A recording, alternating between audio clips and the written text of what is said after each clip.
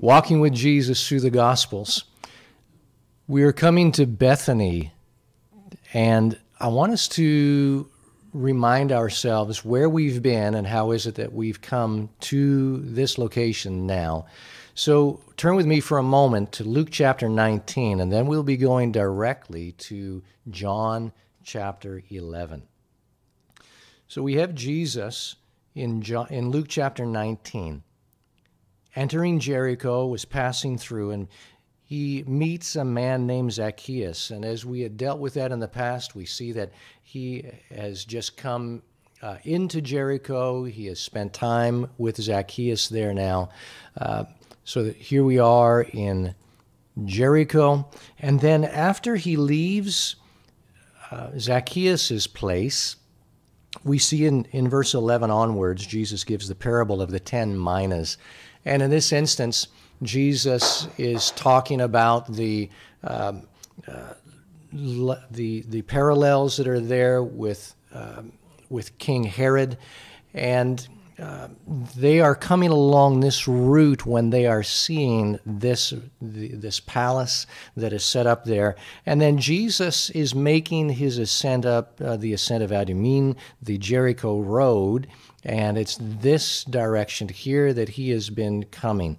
All right, so uh, as he gets to the top of that Jericho road on that ridge, so coming into this region right about here, this is what the focus would have been, the, the view would have been like, of course, without those buildings, because those are, um, obviously, it's a picture of, of current day.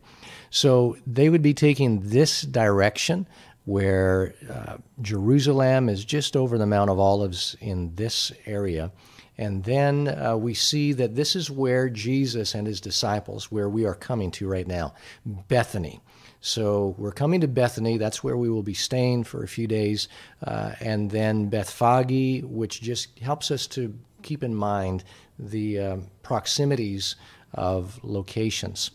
So Bethphage is here. The Mount of Olives is just um, to the to the west, the northwest of where that is. And then lastly, we see a perspective here of the Temple Mount. So hopefully that'll give you some perspective so we can understand where we are right now. So with that in mind, let's come to John chapter 11. So when we were in John chapter 11 previously, we had seen that Jesus had raised Lazarus from the dead, but of course we've gone from then and we went back to uh, Bethany on the other side of the Jordan.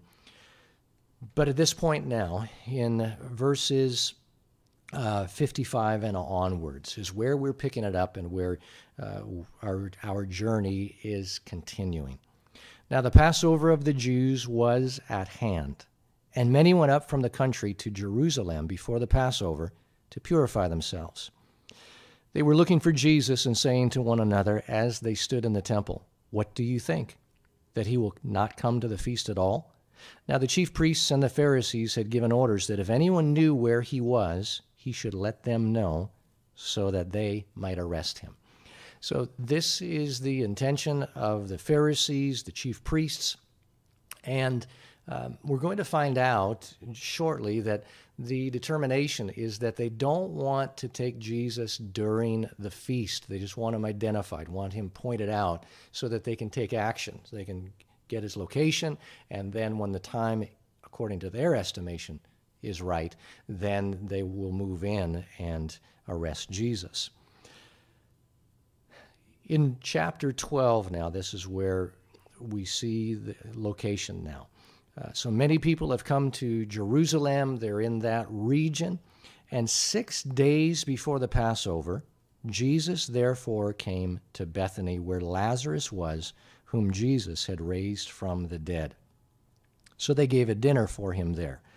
Martha served, and Lazarus was one of those reclining with him at table. Mary therefore took a pound of expensive ointment made from pure nard, and anointed the feet of Jesus and wiped his feet with her hair. The house was filled with the fragrance of the perfume. But Judas Iscariot, one of his disciples, who was about to betray him, said, Why was this ointment not sold for three hundred denarii and given to the poor? He said this not because he cared about the poor, but because he was a thief. And having charge of the money bag, he used to help himself to what was put into it. Jesus said, Leave her alone so that she may keep it for the day of my burial. For the poor you always have with you, but you do not always have me. All right, so I want to bring our attention to this overview map so that we see Jesus is in this area now in Bethany. Uh, we can see from this view uh, the western slope of the Mount of Olives, and then the eastern slope as uh, I'm excuse me, the eastern slope of the Mount of Olives here, coming onto the western slope of the Mount of Olives, and then we have Jerusalem directly ahead, and the temple situated right here. So Jesus has come uh, to Bethany six days before the Passover. Matthew and Mark they indicate to us that they're, uh, the, the the time frame they're looking at is two days before the Passover. Uh, I'd like you to put markers, a marker in John 12, and we're going to go to Mark chapter 14 and also Matthew chapter 24.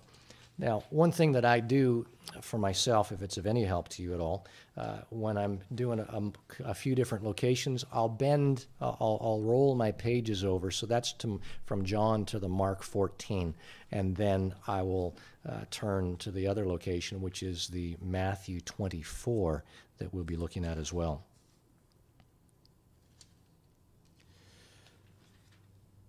Now, uh, excuse me, not Matthew 24, it's Matthew 26. All right, so what I want to look at here, uh, let's look at Matthew 26, verse 1. When Jesus had finished all these sayings, he said to his disciples, You know that after two days the Passover is coming, and the Son of Man will be delivered up to be crucified he speaks about, or uh, Matthew speaks about then the chief priests getting together, and uh, they're gathered in the palace of the high priest. And I want to bring your attention to that location here just so that you get an idea of what that looks like. So, this is an overview, a map of the city of Jerusalem. These are the city walls. Uh, here's Bethany in this region right here. And as we zoom in, uh, closer and closer. We're going to see a location right here. It's the high priest's palace. So you see that uh, the temple is right here, and then we've got the high priest's palace circled in red. So this is where they are located at this point in time, the chief priests. They're plotting. This is what John had been speaking about. Um, so John is at, at that point, he's he's uh, generalizing because he knows that it's for him it's already taken place, but he's just giving that information because that's a convenient place for him to put it. So they're plotting in order to arrest Jesus by stealth and to kill him, but they said not during the feast, lest there be an uproar among the people.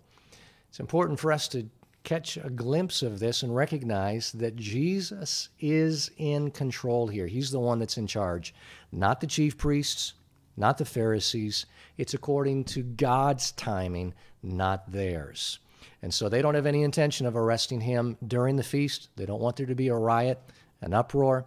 Uh, they have made plans. They'll do it once the feast is completed. But God has other plans because it's necessary that Jesus be crucified during the feast, not before and not after. And that he be crucified and not some other means of death. Well, it's following this directly in verses 6 through 13 that Matthew gives his account uh, regarding the dinner that, that takes place. So, Matthew and Mark's account are almost identical. We're not going to get into the nitty gritty of uh, when these feasts were specifically. Uh, I lean towards the, uh, the, the perception that Matthew and Mark, they're doing a flashback to the time that John is speaking about, six days before the Passover, when this meal takes place. But they couch it, they place it here when they're dealing with the scheming of the chief priests.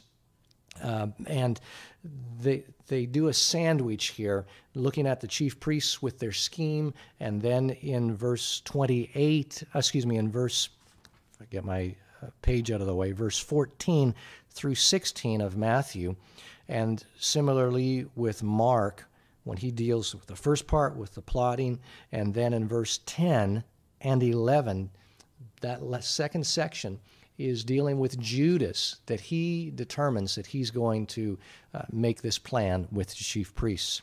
So both Mark and Matthew sandwich between that scheming a flashback going back to the dinner. Some will hold that it's two separate dinners. And we're not going to debate that here. I want to focus specifically on what happens at the meal during this and the worship that takes place. If it's two meals, there's two anointings. It doesn't change anything that, because Jesus is still anointed. If it's one meal, then he is anointed both at his head and on his feet, regardless of what the situation is. So, what I want to do is come back to John,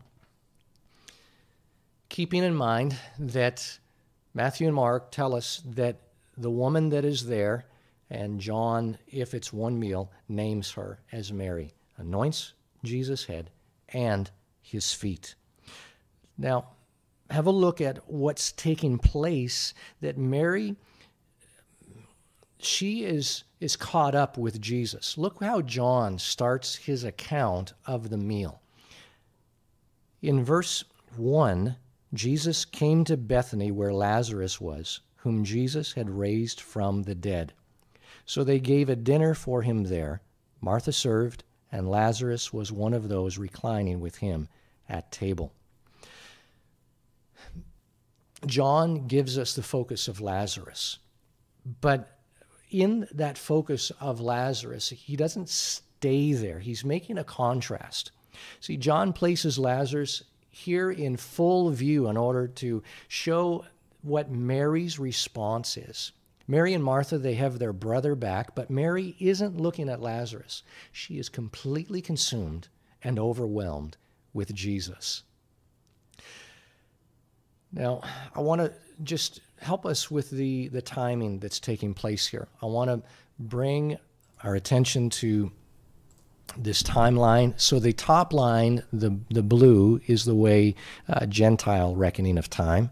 Uh, the black is Jewish reckoning of time because uh, Gentiles reckon time from midnight to midnight, so that's one day. Uh, Jews reckon time. Evening begins the day, and then sundown the next day is the is the beginning of the new day. Now let's have a look here. Sabbath begins at this location here uh, on Friday evening. Then we have Sabbath ending on Saturday evening. Let's back up just a little bit.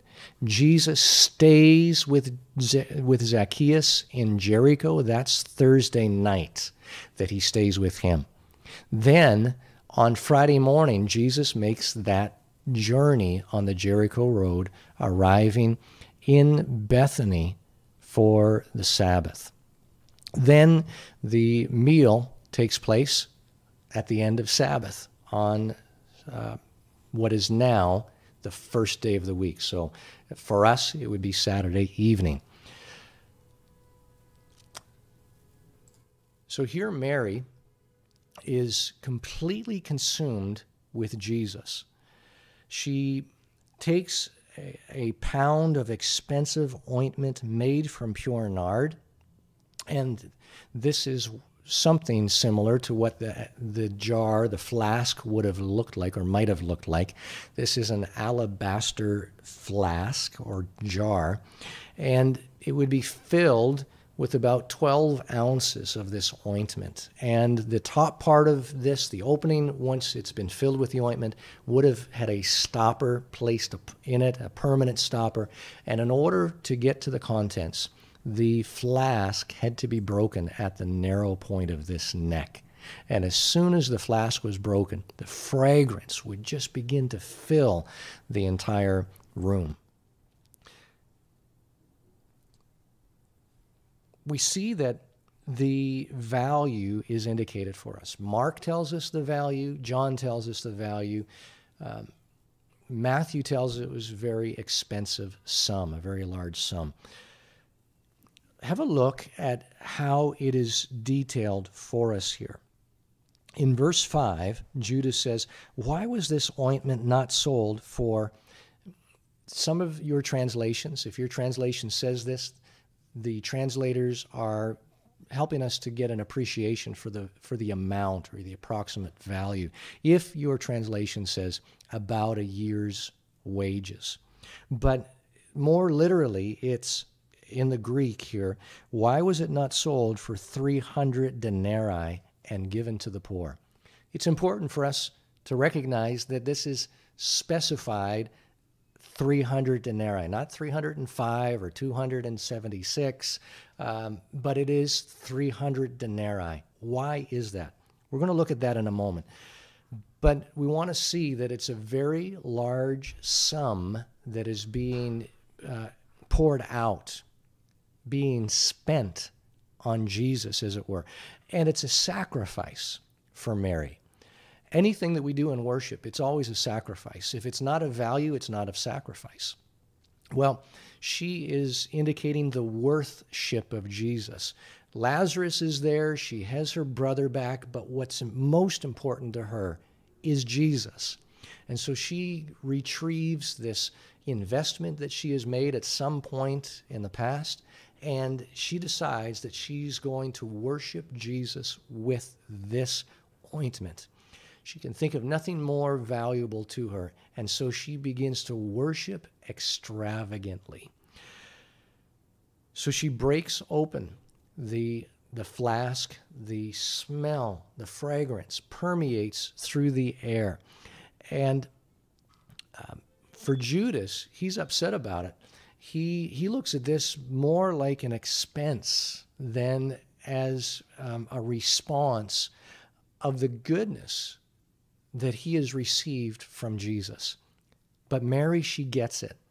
She sees what she has received just in the very person of Jesus, let alone all the blessings that she's received alongside of it. So she's she's pouring out her heart in joyful love while Judas looks at it as though she's paying some kind of a bill and she's paying way too much in his opinion. Because for him, he sees uh, Jesus as a dead end now. He had seen him as the hopes of, of Israel, that he was going to establish a kingdom, that he believed that he was the Mashiach, the Messiah, the anointed one. But lately he's been seeing that uh, Jesus is, is destined to to die. He keeps talking about this crucifixion and being handed over to to the uh, to the Jews, and then the Gentiles are going to take him. The Romans are going to take him and crucify him. He he just can't get his head around it, and he's he's get growing impatient that Jesus is not setting up his kingdom, and so he doesn't see Jesus as worthful to worship. He sees him more as a liability now and he's debating over where he actually stands in this group of, of followers, these disciples, and whether or not it's worth his while to continue doing so. And we end up seeing that he makes this agreement with the chief priests and the Pharisees to betray Jesus. And he does so for 30 pieces of silver. Where in this instance, Mary, she's pouring out.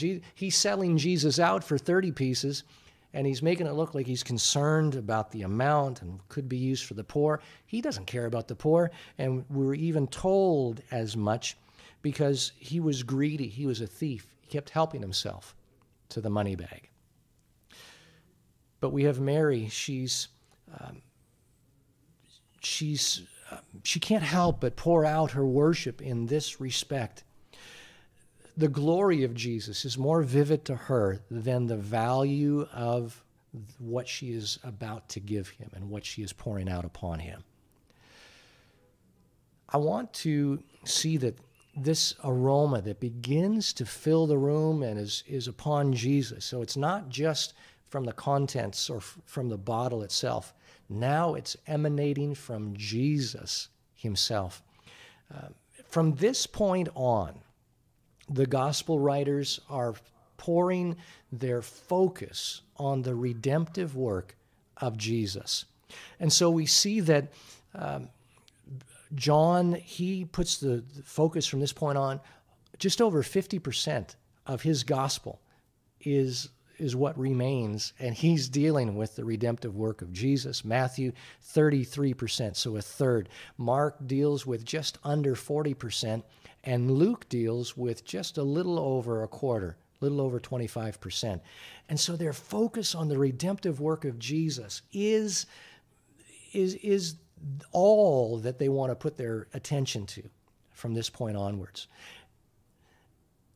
So we see that Mary, she is enthralled with, she's captivated, she's overwhelmed with Jesus, and she does what comes uh, to her now. She wants to express that worship that she's being overwhelmed with. This is how she does it. I want us to wonder or to see what's going on here with some of the picture of the the anointing that's taking place. So if we go back to Song of Solomon, Song of Songs, I want to look particularly in chapter 1. Have a look here, and we see that, uh, let's look at verse 2. Let him kiss me with the kisses of his mouth, for your love is better than wine. Your anointing oils are fragrant. Your name is oil poured out, therefore virgins love you. Draw me after you. Let us run. The king has brought me into his chambers. Then I want to go down um, to verse 12. While the king was on his couch, my nard gave forth its fragrance. And so we see some comparisons here with the, uh, the pure nard that Mary uses and pours out on Jesus. Uh, she anoints his head, she, she anoints his feet. Uh, feet being an um, indication of worship. She anoints his head, that re- being an indication of the anointing of as king and also as priest. So, in the Old Testament, the anointing of a king and of a priest, uh, even for the tabernacle and then later the temple, it was a very specific ointment that was used and spices that were a part of it, and it was more valuable than diamonds. And only the priests and the prophets could use this in anointing the, the, the uh, priests themselves, anointing the tabernacle and then later the temple, and anointing the uh, kings. And on occasion, prophets were anointed also, but primarily the kings and the priests. And I want us to recognize here that Jesus is being anointed uh, as a picture of his kingship, the, as being Messiah. He's also being anointed as priest, for he is going to, to go and offer himself as the sacrifice before the Lord God Almighty on our behalf. So he's offering himself, becoming both the, the sacrifice and the priest who offers the sacrifice instituting a new priesthood after the order of Melchizedek, as the book of Hebrews tells us, and Psalm 110, as the writer of Hebrews draws that out from that psalm. I want us to pay close attention to something that was spoken about here in the Song of Songs. Your anointing oils are fragrant. Your name is oil poured out. There's the picture here of of God being poured out. Uh, so his name is oil poured out. How, how do we get that? Well, remember we looked at the specific number that was being used to identify the value of this ointment. Why wasn't it sold for 300 denarii? I want to draw our attention particularly to one aspect of 300 in the Old Testament. So I want us to go back to Genesis chapter 45.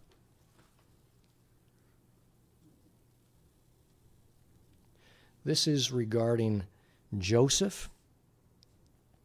Joseph, uh, he has now become, has been elevated to the position of vice, uh, vice president of, uh, of the uh, country of Egypt. And he's been reunited with his brothers. Benjamin, his younger brother, is there, the youngest brother of all, the 12 sons. And here's what we see takes place once they've been uh, joined together and reunited. Joseph reveals himself. To each of and all of them he gave a change of clothes. But to Benjamin he gave 300 shekels of silver and five changes of clothes. What is this? Why to Benjamin does he give 300 shekels of silver and to, to him five changes of clothing? Silver in the scriptures represents a couple of things. One, it represents God's word. In Psalm 12 and verse 6, the word of God is referred to there is that, that the word of the Lord's are pure words, they're refined like silver in the furnace of the earth. And then we see, uh, so that's silver representing God's word. Then we see in Numbers chapter 18 and verse 16, it's in regards to redemption, redeeming the firstborn, whether it be of uh, their sons or the firstborn of their flocks or their cattle. Look at uh, verse 14, Numbers chapter 18. Every devoted thing in Israel shall be yours. Everything that opens the womb of all flesh, whether man or beast, which they offer to the Lord, shall be yours. Nevertheless, the firstborn of man you shall redeem, and the firstborn of unclean animals you shall redeem. And their redemption price, at a month old, you shall redeem them. You shall fix at five shekels in silver, according to the shekel of the sanctuary. And so, silver here is a picture of redemption. Now, again, we've seen the number five. So, five gets in connection with the five garments of Genesis chapter 45. Five represents grace. Five is rep- represented in the Hebrew numbers uh, as grace itself. Five garments. It speaks of covering, covering that uh, that is not deserved, and where we speak of see redemption. Five shekels of silver. It speaks of redemption that is not deserved and where Jesus, he's being anointed here, one as king and as priest upon his head, upon his feet, for uh, indicating worship that he is worthy of. And Jesus says that this anointing is for my burial. It's in, it's in connection with his death, his crucifixion, his sacrifice. And so his sacrifice is going to secure it's going to result in redemption because the Word of God is going to be fulfilled. Now, one other aspect regarding 300. In Scripture, in Hebrew, the letter Shin is uh, repre- represents the number 300. So we have Shin here and Shin is the letter that represents the name of God, Shaddai. Here is the name Shaddai. And so we're reading from right to left. Shaddai is how it's, it's spoken. Almighty. Uh, you might recognize it even more so as El Shaddai, El Shaddai, God Almighty. And the name of God can be abbreviated or represented by this one letter, Shin. And we see that there are mezuzot, or one is a mezuzah, that upon them they have the letter Shin. Notice here it's a stylized Shin, but there's the Shin nevertheless, and it represents the name of God Almighty, Shaddai. And so it may have specifically the name Shaddai spelled out on the mezuzah or just abbreviate it with the shin. And the value of that letter is 300. You remember that in Song of Songs, your anointing oils are fragrant, your name is oil poured out. So we see that there's this uh, depiction of the name of God represented by 300, represented by um, that shin, is poured out. And the, this ointment that is poured out on Jesus, it's like the, the, the Lord God Almighty, El Shaddai, is being poured out upon Jesus himself. Your name is oil poured out. While the king was on his couch, my nard gave forth its fragrance. So we have this depiction, this image that is being presented to us here with the worship of Jesus and the worship that Mary is bringing to him and the, the identification that Jesus is portraying and presenting. This is not just coincidental that Mary decides to do this. Jesus comes to Bethany specifically at this point in time to be anointed for this very purpose. And with Jesus, timing is everything. He doesn't do things accidentally or haphazardly or coincidentally. Everything is done with intention and with purpose. Now, I want us to see here uh, that in Second Corinthians, let's go there for a moment, and chapter 2 and verse 14.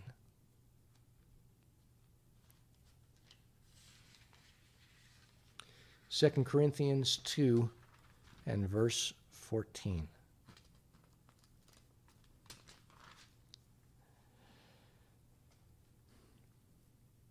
Says, But thanks be to God who in Christ always leads us in triumphal procession, and through us spreads the fragrance of the knowledge of Him everywhere. For we are the aroma of Christ to God. Among those who are being saved and among those who are perishing, to one a fragrance from death to death, to the other a fragrance from life to life. So, because we are Christ's, it's like we take on that same aroma. The name of God is poured out upon us like, like fragrant oil. And the fragrance of Christ is upon us so that we are the, the aroma of Christ to God among those who are being saved and among those who are perishing. To, to present Christ over and over again. When the king was walking by because he was anointed, because of the oil that was poured out upon him. There was a fragrance to him. It was the aroma of the king, the aroma of Christ, as it were. And that's where we what we see Mary doing at this point now. She is poured out uh, upon Jesus, and now this aroma is upon him. And everywhere Jesus goes over the next few days, he's going to have this aroma of pure nard. It's going to be unmistakable, it's going to be unavoidable. No doubt, Mary had some of that fragrance, some of that aroma upon her as she's in such close proximity to Jesus. And the aroma just overflows. I want us to continue on now, come back to John chapter 12. When the large crowd of the Jews learned that Jesus was there, they came, not only on account of him, but also to see Lazarus, whom he had raised from the dead. So you recall that uh, Jesus is only, at this point, only two miles away from Jerusalem. And so when people get wind of the uh, word of, of the fact that Jesus is in Bethany, they are, have been in Jerusalem Sabbath is over, and now they're making their way those two miles to Bethany and the surrounding areas, the surrounding villages. Remember, Bethphage is about this region right here. So people are coming together. They want to see Jesus, but not Jesus only, but on account of Lazarus.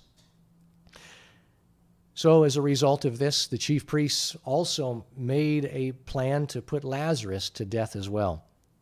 Because on account of him, many of the Jews were going away and believing in Jesus. So it's like the aroma of Jesus was upon Lazarus, and everywhere Lazarus was going. Uh, it's not literal necessarily that the this ointment had been poured out upon Lazarus, but it's like the aroma of Jesus was upon him, and where he goes, people are seeing and hearing about Jesus. Lazarus is pointing to Jesus in every respect. Well, because the religious leaders, the chief priests and the Pharisees, they don't want anything to do with Jesus. They want to get rid of him. They want to get rid of anyone that is connected with him or might point people to Jesus. And for them, Lazarus is uh, at the top of their list at this point. Well, the next day, remember this is the first day of the week, the, the, the morning now. Um, the evening has already begun, and the first day is the Sabbath has concluded, Saturday night in Gentile reckoning. It's now the come on to the dawn of the next day. So, well into the first day of the week, we'd look at it as Sunday. And we celebrate this, we refer to this as Palm Sunday. Well, the next day, the large crowd that had come to the feast heard that Jesus was coming to Jerusalem. So not only had they come out to Bethany, but the next and they had gone home, now they are getting word that Jesus is coming to Bethany, or excuse me, to Jerusalem. So they took branches of palm trees and went out to meet him. They were crying out, Hosanna! Blessed is he who comes in the name of the Lord, even the King of Israel. Well, Matthew and Mark have already had this account take place in relation to what we've looked at with Matthew 26 and Mark uh, 14. The triumphal entry for, in their accounts is Matthew 21 and Mark chapter 11. We see that Jesus sends his disciples on ahead from Bethany into the village ahead of them, so that would be Bethphage, to get a. To, you'll find a colt with her foal there, a donkey with her foal. Excuse me, not a colt, but a donkey with her foal um, tied up. Loose them and bring them to me. And if anyone asks, What are you doing? tell them that the master has need of them. And then Matthew tells us, and, and Mark as well, and then John does it, um, tells us that this is the fulfillment of Zechariah chapter 9 and verse 9. So Jesus found a young donkey, that is, he sent his disciples ahead of him to Bethphage, and they brought it to them to him, and he sat on it, just as it is written. Fear not, daughter of Zion. Behold, your king is coming, sitting on a donkey's colt. So the disciples had gotten the donkey and the colt, the foal, and placed their cloaks upon this colt nobody had ridden upon. And Jesus now begins that two miles, or a little less than two miles at this point from Bethphage, and uh, makes his way to Jerusalem. But he doesn't do it in a quick uh, trot. He's doing it in just a, a slow fashion. As people are gathering together, the crowds are increasing. Why does Jesus do this? Why does he do it on a donkey? Why doesn't he, he get something more majestic like a, a stallion? Uh, it's very intentional on what Jesus is doing in this respect. He's fulfilling uh, an aspect of the Davidic covenant that the Lord had made with David in 2 Samuel chapter 7. And he says that I'm going to give you an everlasting kingdom. There will never cease to be one of your descendants upon your throne. And he's speaking uh, ultimately about Jesus. There's nobody on the throne of David presently, but what that means is that this kingdom will not come to an end. And Jesus as was told to Mary when Gabriel came and announced that she was going to become pregnant, she was going to conceive by the Holy Spirit. And that being the case, that her son, the child that will be born, Jesus, would sit upon the throne of his father David. That's yet to happen. But the kings, when they were uh, anointed, they were anointed to a position of kingship, but they didn't always take their, um, their place as king or rule as king for some time thereafter. Think about David in 1 Samuel chapter 16. When, Saul, when Samuel went to David to anoint him to replace Saul because God had rejected Saul, he takes anointing oil and pours it upon David's head, but it won't. And so at that point, he's anointed. He's the Mashiach, the Messiah. But he will not be coronated. He will not take his place on the throne for another 17 years. Well, David does become king and he rules. And when he's in his old age, uh, Zadok, the priest, David tells him, Go and take my son Solomon, place him on my donkey, and anoint him as king, and then have him ride through the streets of Jerusalem. Look at 1 Kings chapter 1.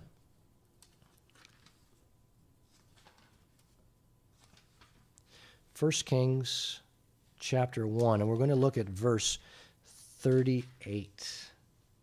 So Zadok the priest, Nathan the prophet, Benaiah the son of Jehoiada, and the Kerethites and the Pelethites went down and had Solomon ride on King David's mule and brought him to Gihon, the Gihon spring. There Zadok the priest took the horn of oil from the tent and anointed Solomon. Then they blew the trumpet, and the people said, Long live King Solomon. And all the people went up after him playing on pipes and rejoicing with great joy, so that the earth was split by their noise. Here, when the people see Jesus riding on the donkey, notice what they say. They said, Hosanna, blessed is he who comes in the name of the Lord. Here's what they are declaring right here.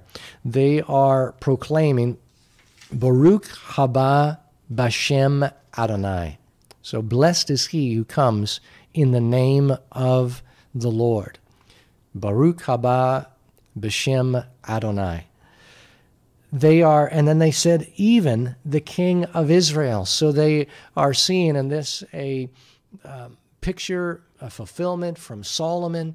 They, when the declaration was, "Long live King Solomon," here they're saying, and even the king of Israel.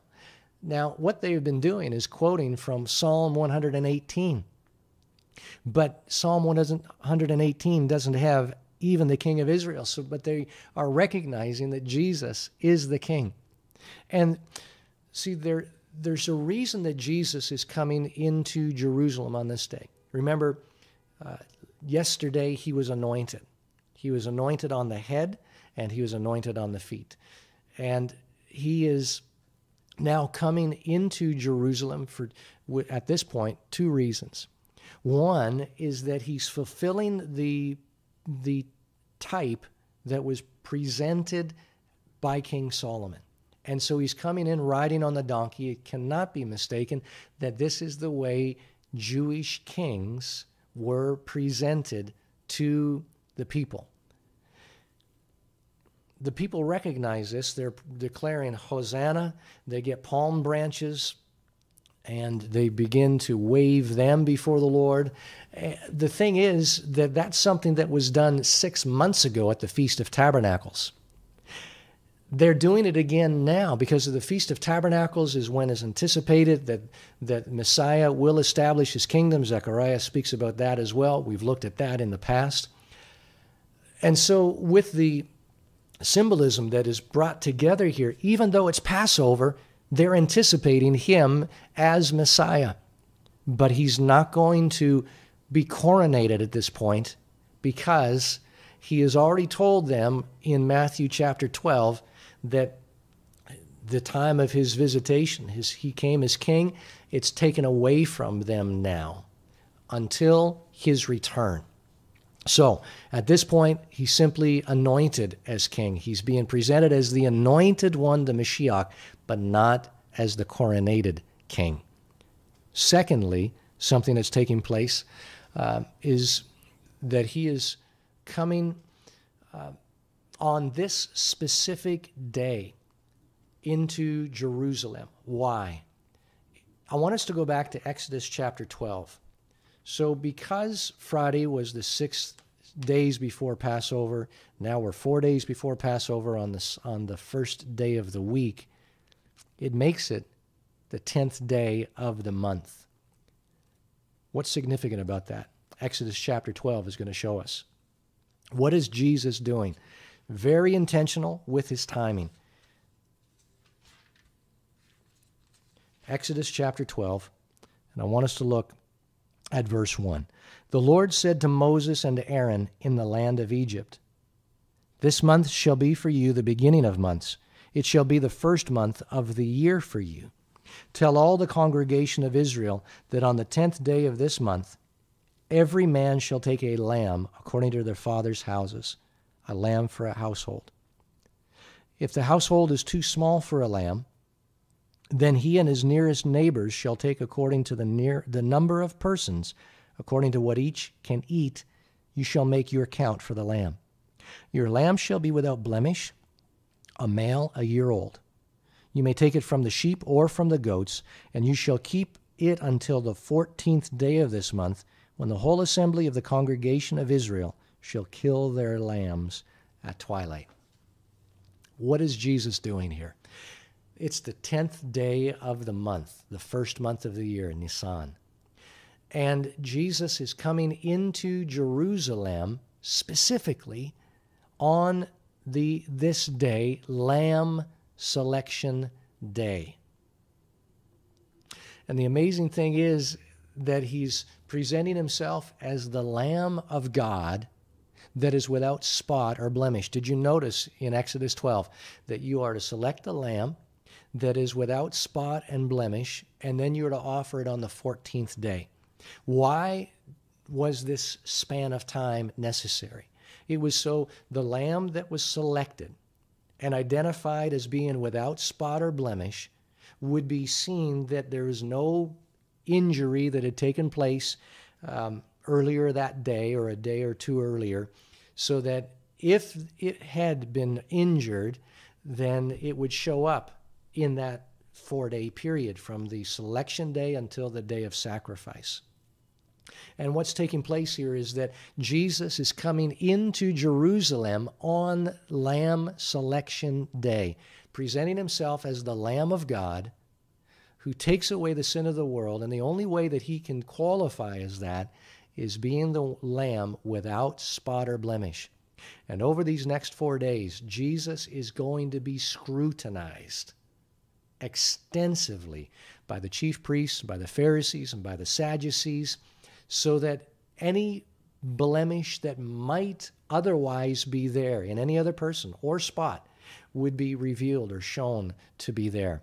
But as Jesus gets interrogated and scrutinized intensely over these next few days, he, it will be shown clearly and decisively that he is indeed without any spot and without any blemish. And when he stands before the chief priests and then later uh, Pilate and then Herod and then Pilate again, that it's going to be seen that the only thing they can accuse him of is blasphemy because he claims to be the Son of God. But he can't be found guilty in the sense of sinful on that charge because he actually is the Son of God. So they have found they will have found no spot and no blemish through the intense scrutiny of searching him out.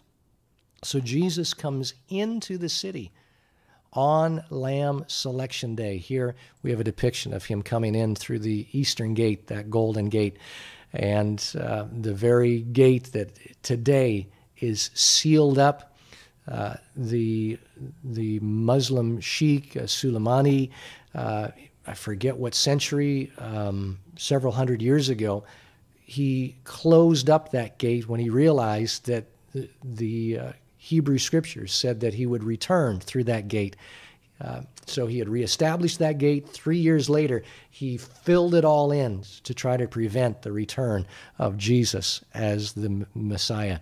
But he'll be unsuccessful because there's no brick, there's no stopped up gate that can stop the Messiah, the King of Kings and the Lord of Lords. Praise be to his name. So here we see Jesus. He's coming uh, to the city. So coming down um, from the Mount of Olives in this direction, coming across the Kidron Valley, and then through this gate, the eastern gate right here.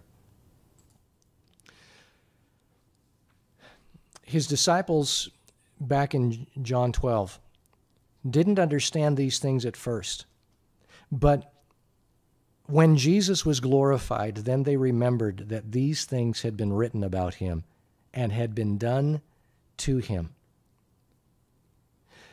The crowd that had been with him when he called Lazarus out of the tomb and raised him from the dead continued to bear witness. The reason why the crowd went to meet him was that they had heard he had done this sign.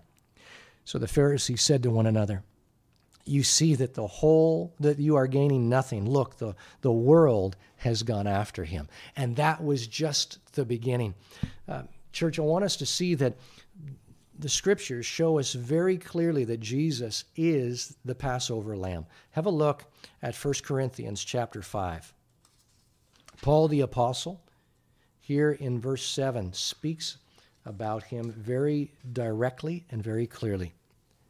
He says in verse 7 of 1 Corinthians 5 Cleanse out the old leaven, that you may be a new lump, as you really are unleavened.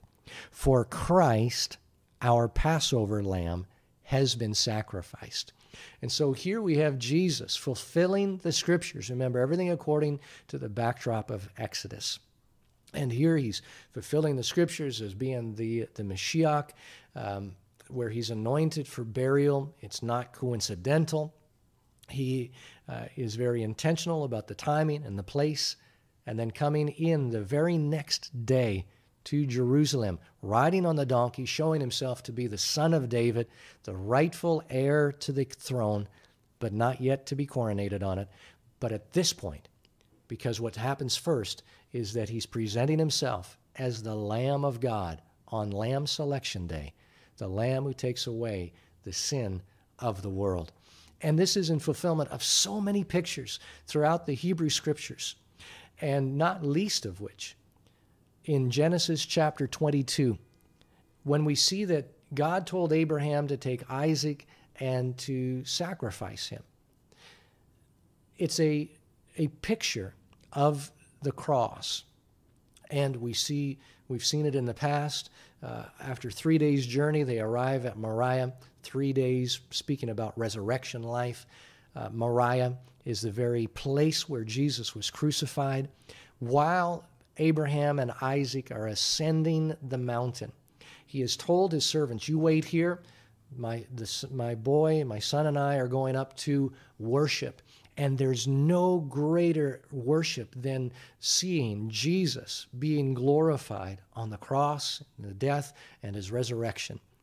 And this is what is being pictured for us with Abraham and Isaac. And here's what Isaac says to his dad Father, we have, in verse 8, Genesis 22, Father, we have the fire, we have the wood, but where is the sacrifice? And Abraham says, God will provide himself a sacrifice, will provide himself the lamb. And he did that very thing as uh, Isaac was bound and placed upon the altar in this type of acting out the, the uh, sacrifice, the offering of Jesus.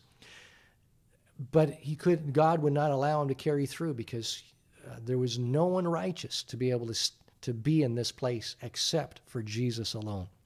And so even Isaac needed the substitute.